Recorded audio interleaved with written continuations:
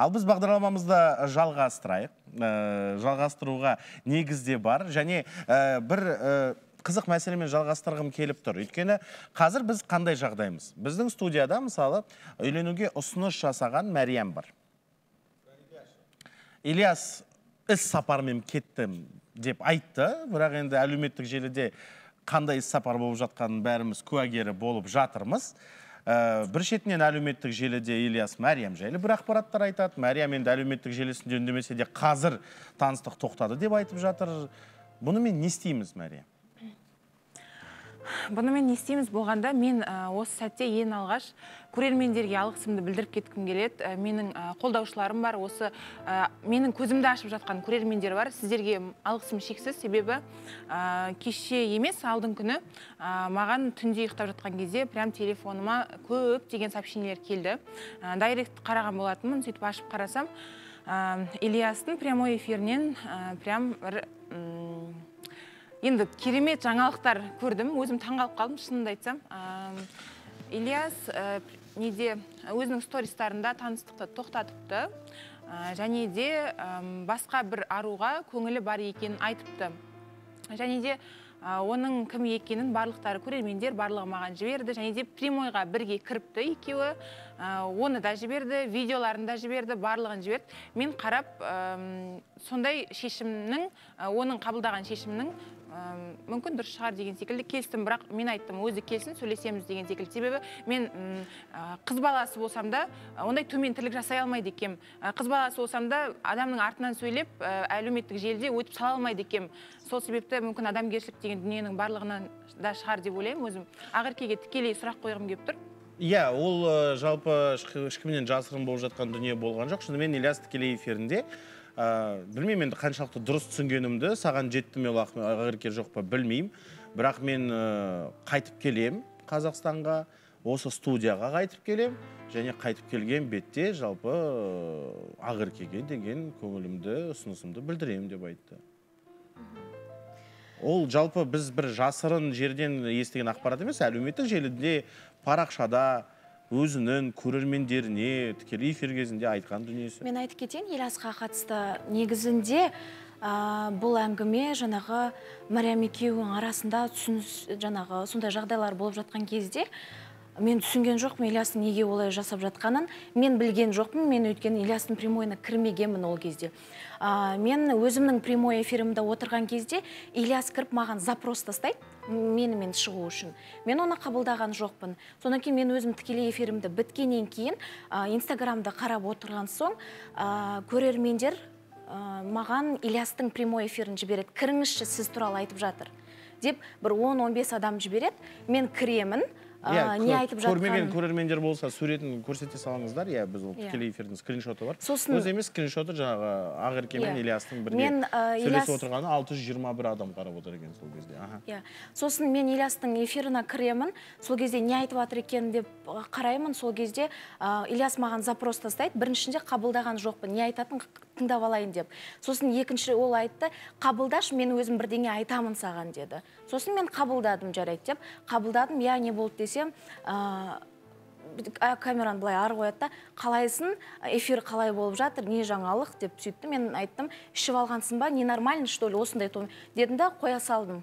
Өйткені бір мазақ қылып отырған сияқты болды. Ал мариямға келетін болсақ бұл жерде реніш ә, өте орынсыз деп ойлаймын маған. Өйткені мен оның алдында ильястан ондай қылықтар көрген кезде мен сразу мариямға келіп бір емес екі үш рет айтқан болатын. Сенің ильясың осындай кезде мен сол соңғылығына айтып алайын соңына дейін. Мен айттым ильясың осындай осындай жасап жүр менің ә, стористеріме лайк басып жүр деп көрсеттім тамақтанып отырған кезде. А, мариям осындай болып жатыр деп. және мен мен ондай емеспін біреудің сен тұра тұршы мен соңына айтып дейін отырсың. айтып алайын осы жерде мен сенен өзім келіп сұраған болатынмын себебі ильястың Сен өзің мен бұған дейінгі жоқсың. құқықтарын мен білемін екеуміз тамақ ішіп отырған кезде бірге отырып қалдық ильяс туралы тема шығып кетті сол кезде сен айттың ә, Жоқ, Мариям, оның сен алдында айттың айтылды. маған стористі көрсеттің вот мені сторисына түсірген бірақ мен білмеймін дедің вот менімен құшақтасып сторис түсірген бірақ мен білмеймін оны. Жоқ ә, түсіп қара ол қалғанын ол кез дедің. тамақтанып жатқанда басталған жоқ. Біз ә, пятница күні караокеға жиналған кезде ә, мен үйге қайтып жатқан кезде лично үйге сумкаларын жинап уже кетіп бара жатқан кезде ай мариямға барып кетейінші деп мен мариям сенің алдыңа келдім да мариям Иә, мен жаңа ильястың сторисіне түсіп қалдым. Осындай осындай ертең ренжіме деген сияқты мен айтып кеттім. Одан кейін екі үш күннен кейін біз тамақтандық бірге дұрыс па? Ол кезде де айттым мариям сенің ильясың маған осындай лайк жіберіп отыр деп. Мен оны да көрсеттім. Мен ешкімнің артынан ештеңе жасап жүрген жоқпын. Жоқ мен саған бұл жерде менің артымнан бір нәрсе жасап жоқ жүрсің деп сенің жоқпын. айтып отырмын ғой. Маған ренішің орынды емес сенің сенің артынан бір тығылып бірдеңе жасап жүрген жоқпын. Жоқ мен, саған, ә, осы жерде сен, мен маған бірдеңе Жоқ, қарашы, тыңдашы.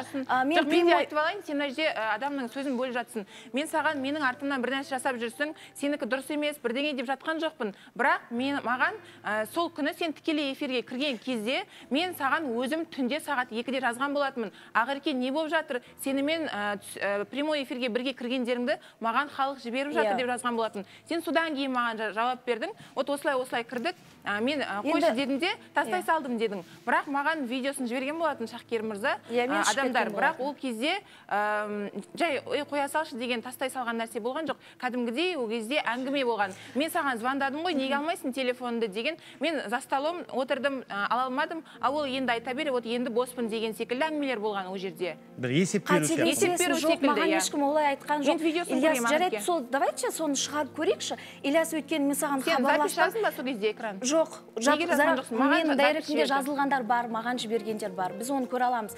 Бірақ оны тікелей ондай сұрақ болмаған. Мен сто процентке уверенно айта аламын. Саған хабарластым ғой сен неге алмадың деген болған жоқ.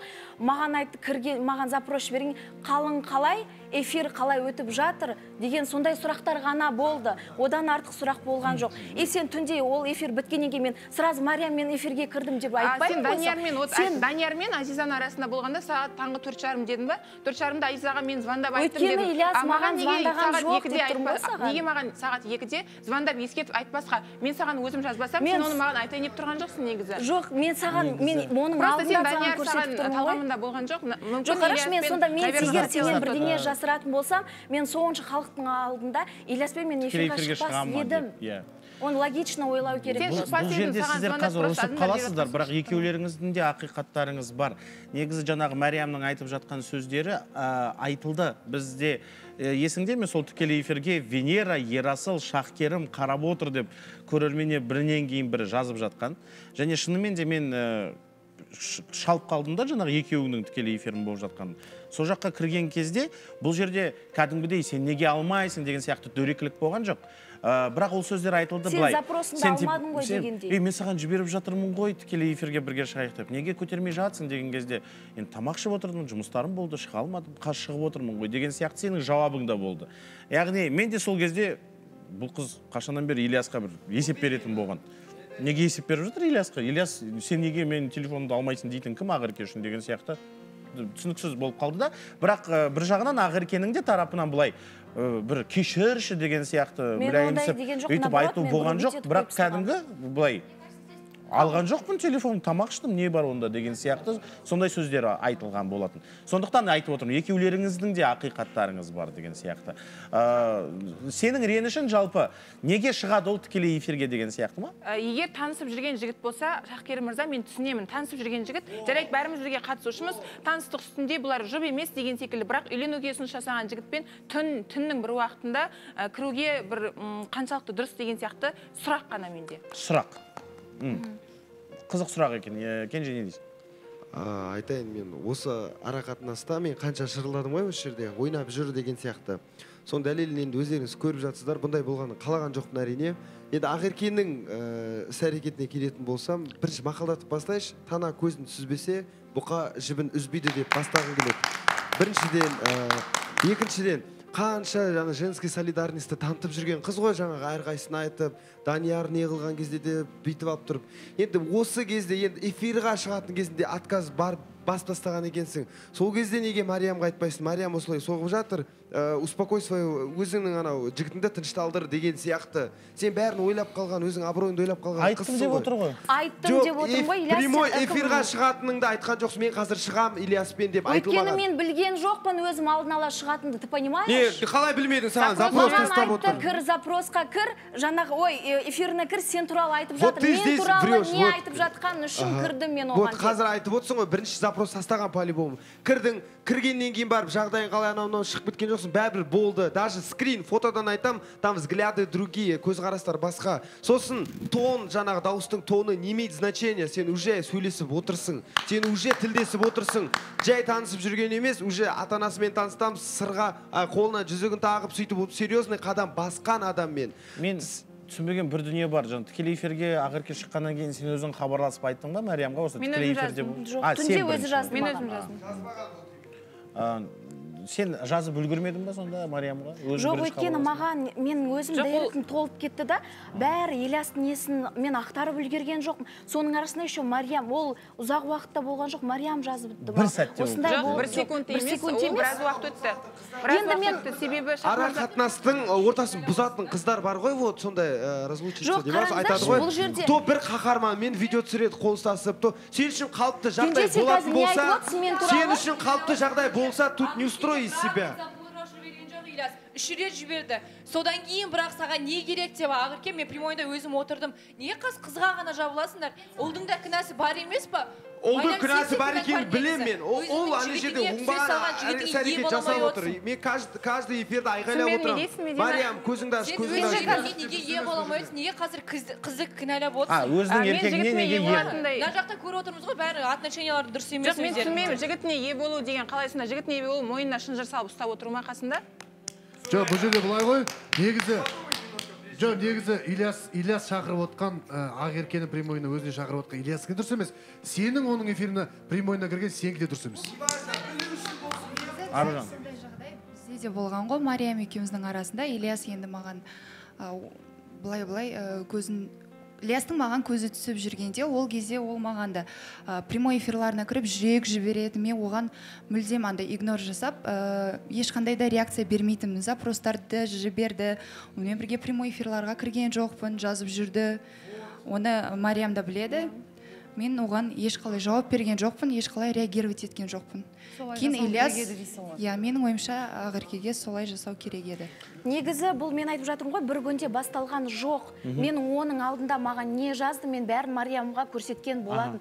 Мариям мен мариямға тікелей келіп айтқан болатын. Ильястан осындай осындай қылықтар жасалынып жатыр мариям иә. деп. Мен саған бір емес үш төрт рет Жоқ, маған айтқам неге айтасың? «Е, Сен неге Ильясқа келесің да айтпайсың? осында Вот осылай осылай айтып істеме. жатсың. Мен, ойлаймын сен тарапынан мен мен саған сыйластық таныттым ба и сен де сыйластық танытуың керек еді. Мен саған ақерке келгеннен бастап сыйластық танытқан болатын және де маған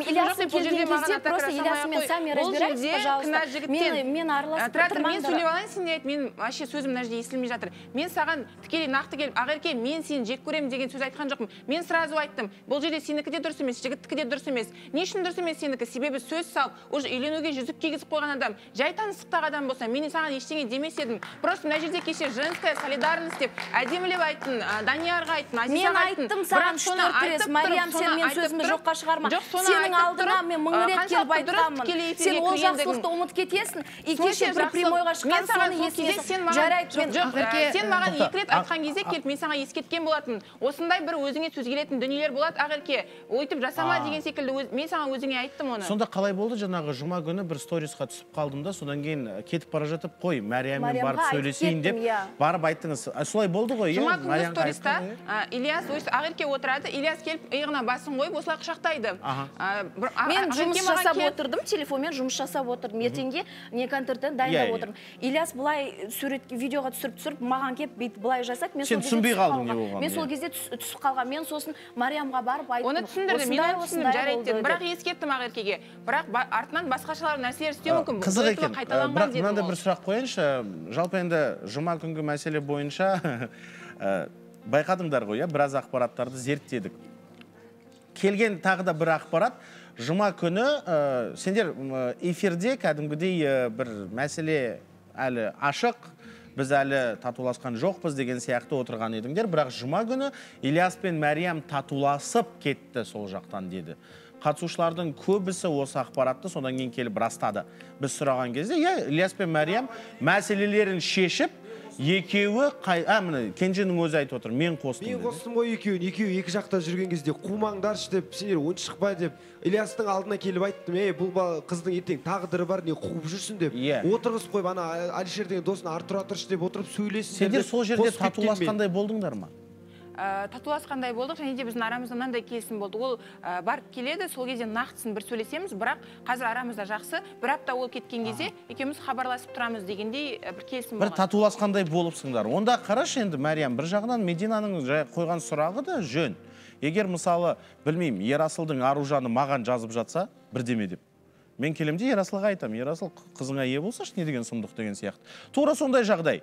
Сенің жігітің ақеркеге жазып жатса онда неге сенің жігітің ақеркеге жазып жатыр деп саған сұрақ қоя алады ғой елдің бәрі? Және ол сұрақтың жауабы не болады екен? Ильяс не білдіріп жыл жалпы ә, іс сапарынан оралса да осы студияға орала ма бұл үлкен сұрақ астындағы бір мәселе. Ә, қалай шешіледі екен және ерекше үміткер кімге келді? Жарнамадан кейін. Иә соңғы жағдайлар былай болады. Ильяс пен мариям айтады біздің қарым қатынасымыз қазір қыл үстінде тұр. Сондықтан мен іс сапарға кетемін бір аптаға. Мариям екеуміз мүлдем хабарласпаймыз сөйлеспейміз. Қарым қатынасымыздың қандай болатынын бөлек жүріп біраз ойланайық дейді де жұма күні қайттан достасады екен. Достасады да енді хабарласып жүреміз деген шешімге келеді екен жалпы. Сөйтеді де ильяс іс сапарға, іс сапарға ұшып кетеді. Ол жерде жүріп тікелей эфирге кіріп ақеркеге сезімі бар екенін айтады. Ә, мен жалпы студияға ораламын да бірден ақеркеге жаңағы гүл шоқтарымен келіп ә, көңілімді білдіремін деп марияммен таныстықты тоқтатып тастайды тікелей эфирде. Ә, оның артынан ақерке мен ильяс тікелей эфирде бірге отырып сөйлеседі. Және қазір мариям ақеркеге ренжіп отыр. Неге сен маған ол жайлы айтпадың деп. Қатысушылардың ойлары да екіге бөлініп жатыр. Негізі ақерке айтқан оның алдында бір емес бірнеше рет мариямға келіп ескерттім деп отыр ескерттім деп отыр. Сенің жігітің тарапыңнан Иә. маған деген бір қызық қимылдар болып жүр деп. Мәриям егер мысалы алдын ала ескертулер болса онда шынымен де заңды сұрақ жаңағы. Онда неге сенің жігітің оны жасайды? Неге сонымен мәселені шешпейсің неге онда татуласасыңдар жұма күні? Мен жауап беріп кетейін. Ә, алдын ала ескерткен кезде ә, мен де ескерткен болатынмын. Ақеркеге осындай нәрселер жасау мүмкін. Себебі оған дейін аружанмен қайталанған. Тікелей эфирге аружанға жүрек жіберіп жүрді аружанға запрос жіберіп жүрді. бірақ аружан қабылдамады оны. Аружан прямойға бірге кірмеді. мүмкін деді ме? Мен айттым ә, жасау мүмкін олар неше түрлі. Маған одан кейін келіп қызғандыру үшін жасадым деген сияқты жасалынады нәрселер деп айтты тек. А. нәрселер айтады ол. Мүмкін жақсы көріп қалған шығар. Мен оған оған ештеңе айта алмаймын қазір. Мен соны да қазір ойланып отырмын да. Бәлкім ә, жаңағы сені қызғандыру құралы ретінде пайдаланып жүрген шығар қызды. Иә ондай ондай бір іс әрекеттері бар деп ескерттім. Прямойға өзіңнен бір алш- алшақ ұста себеп сөз келеді деп ескерттім иә. А демек сен ескерттің а, ол сөйтіп айтты иә кезінде. Иә. онда ә, айтыпты ғой алдын ала қалай болатынын не әңгіме қозғалып кетуі мүмкін екендігін. Ә, түсінікті түсінікті. Ә, бота ә, жалпы есіңде болса ильяс пен мәриямның таныстығы да осындай ұқсас жағдаймен басталған. Негізі ілияс осы бағдарламаға келгеннен кейін бірінші таныстық бізде орын алды. Ә, және де мен ілиясты ол кезде дұрыс танымаймын. Бірақ деген мен осы көзқарасты мариямның тарапынан байқаған кезде мен мариям сияқты бәріне келіскен жоқпын. Қазір де мариям өзінің таңдауын жасап отыр біліп отыр оның қандай адам екенін басқа қыздарға қарайтынын одан да басқа тағы айта берсем көптеген сияқты. Мен ол көзқарасты байқағаннан кейін тұрдым да орнымды босатып бердім. Мына жерде мариям айтып жатыр иә ақерке сен неге маған айтпайсың? деп. Қыздар мынау жерде женская солидарность деп айтамыз ғой айта береміз айта береміз. Бірақ именно осы жерде ол жоқ. Және де оған мен көзім әлі жетіп отыр. Бізде бір біріне қыздарға деген сыйластық мүлдем жоқ. Менің көзім жетті. Және де болашақта да бір біріңе неге маған айтпадың десеңдер ол өте орынсыз. Себебі бұл жерде отырған әр қыз өзін ғана ойлайды.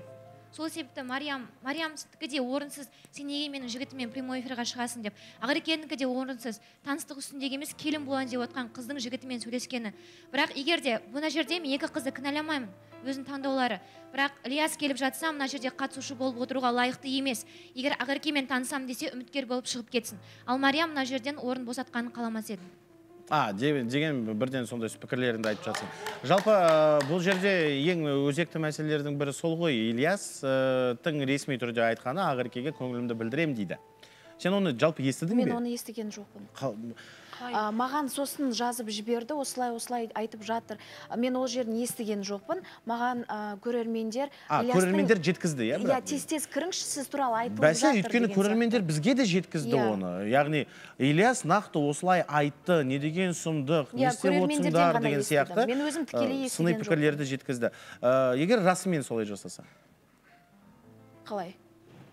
Оралады ә, студияға гүл шоқтарымен кіреді айтады мен дұрыс қызды ондай таңдамаппын тұрақсыз жігіт менің талғамымдағы емес.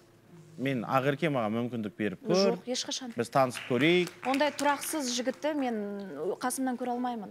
Иә бұл мә- әңгімені менің ойымша ақерке басында айту керек еді. Егер мысалы мәриям сенің күдігің жігітің менімен бірге көңілін білдіріп мен ортаға шығып екеуміз таныстықты бастаймыз деген күдігің бар болса онда мүлдем сейілтіп таста мен саған сөз берем ешқашан студия болсын студия сыртында болсын. Бұл өмірде мен ильяспен таныспаймын деген сияқты бір сөзің басында айтылса менің ойымша бір ұрысқа ұласпайтын еді ғой түбінде. Енді мен мен қызым мен тарапынан айтылатын әңгімелердің бәрі айтылды. Мен жасырынып немесе бір ойым кетіп деген сияқты ондай нәрсе болған жоқ. Және мен ильясты ол жігіт ретінде қабылдамаймын да. Және мен онымен араласып түгіл даже амандаспаймын да. Былай өмірде келіп студияға жиналып мүлдем мен оның ә, амандаспақ түгіл қасына жолап бір сөйлеспегенбіз. Ол ар жаққа ке- шетелге кетіп қалады да Иә. менің артымнан осындай әңгімелер ә, бастайды. Мен өзім түсінбедім. Біз де негізі таңқалып қалдық. Қалай сонда ақерке деп. Бірақ жаңағы енді кеше ғана көтерілген мәселеге сүйене келе күтпеген жерлерден күтпеген оқиғалар болып кетуі мүмкін екенін көрдік. Медина бағанадан бері мен айтамын сөзімді бітірмедім деп отырдың мариям айтты ғой мойнына шынжыр қойып қоямын ба деп. Жоқ қойма сендерде просто екеулеріңде түсініспеушілік жоқ. Сен бұл сұрақты ақеркеге емес Ильяс- Түсіністік жоқ. а, түсіністік жоқ. Сен бұл сұрақты ақеркеге емес ильясқа қоюың керек болатын. Ильяс студияға не келсе үшін оған мен вообще мүлдем ильяс студияға келсе оған да қоямын а, аружан? Мырза. Бір аружан бұны айтудың жөні бар ма жөні жоқ па білмеймін бірақ айтқым келіп отыр негізі. Қазір мұсаның өзі жоқ қой енді. Ә, мұсаның өзі жоқ болғанымен білмеймін айт, айта берейінші ұрыспайсыздар ғой иә? Айт айтамын дегеннен айт. Ә, осы қармағына ілінбеймін деп тұрып алдында пятница күні осы мұсамен тұрып жабысып тұрып вальс биледім. Прямойда да жабысып отырдым. Ол мұсаны сүйгенімнен емес жалпы мұсаны жақсы көреді деген сөз емес жалпы көргенімді айтқым келіп отыр да. Сонда сенің сөзің қаншалықты құны бар жаңағы? Қаншалықты өз сөзіне жауап бере аласың? Кімге кімге сұрақ ақеркеге Ә, мен қармағына ілінбеймін тікелей ешкім ешкімге жабысқан жоқ мен өзімнің тікелей эфиріме кірді. Одан кейін бекболат қосылды жаныма одан кейін медина қосылды.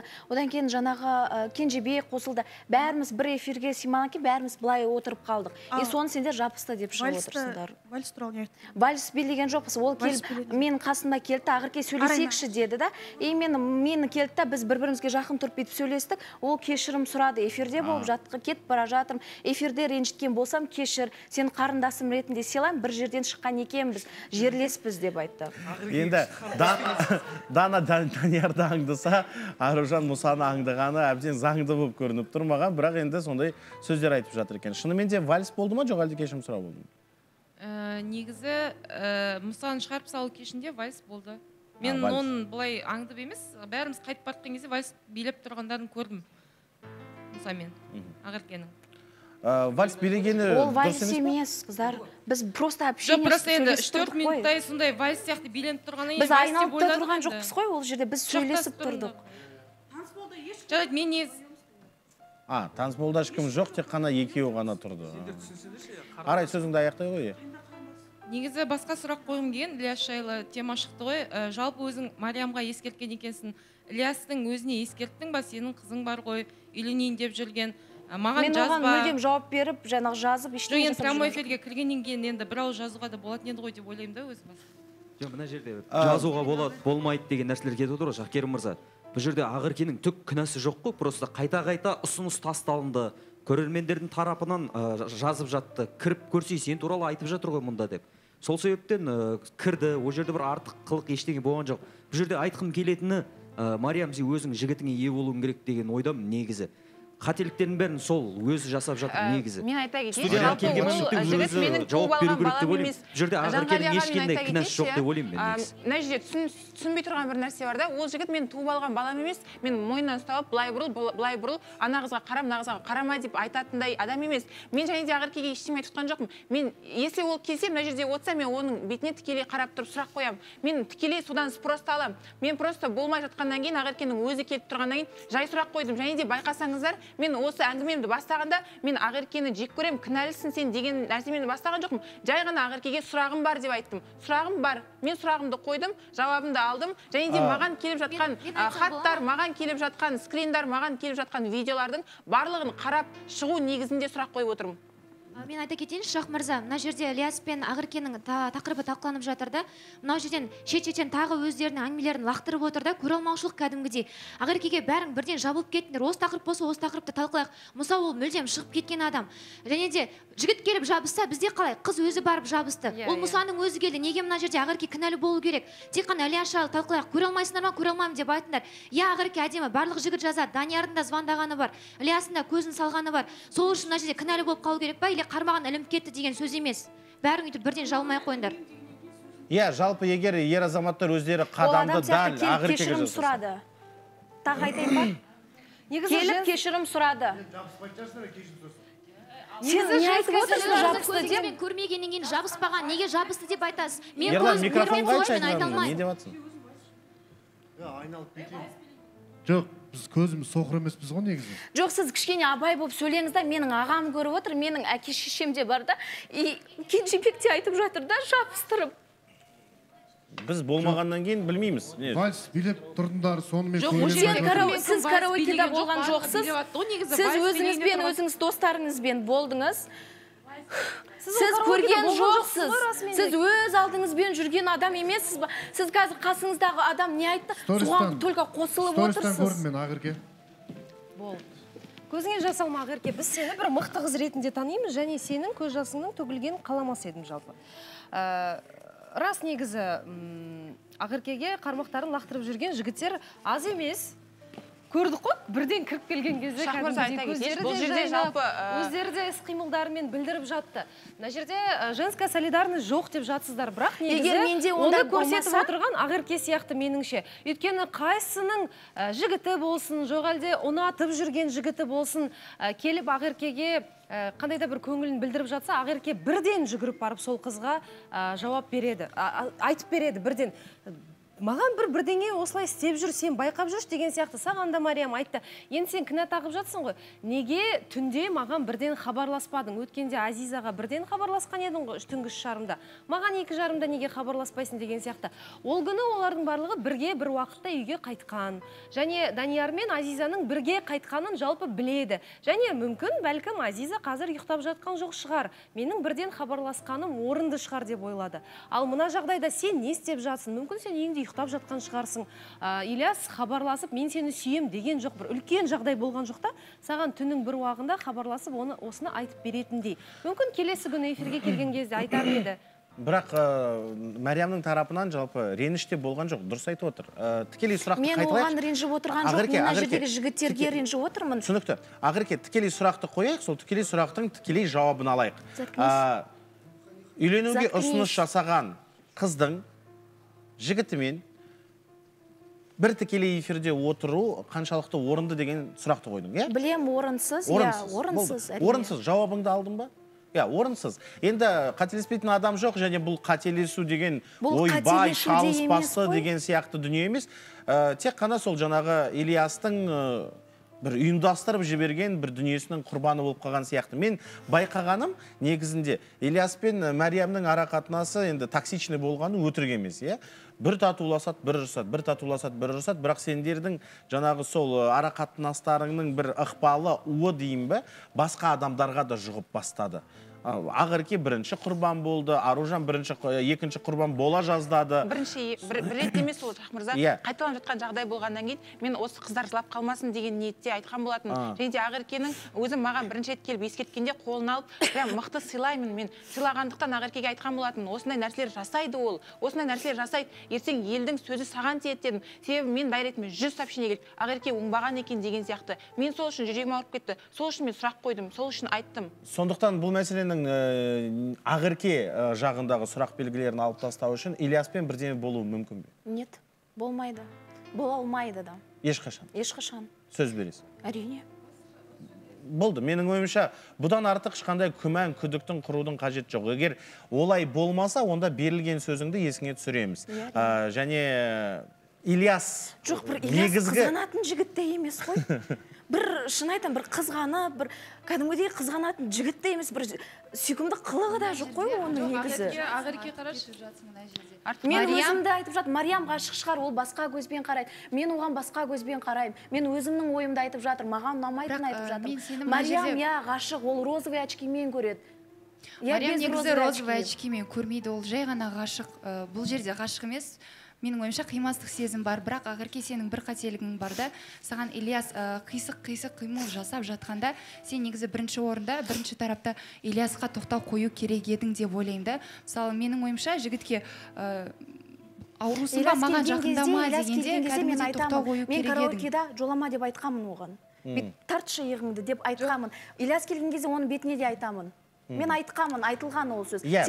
Бұл мәселені қыздар жігіттер негізгі тараптардың бірі ильяс студияда болмай ә, бір нүктесін және бір шешімін табу мүмкін емес. Ең бастысы қыздар бір бірлеріне сұрақтарды қойды жауаптарын алды.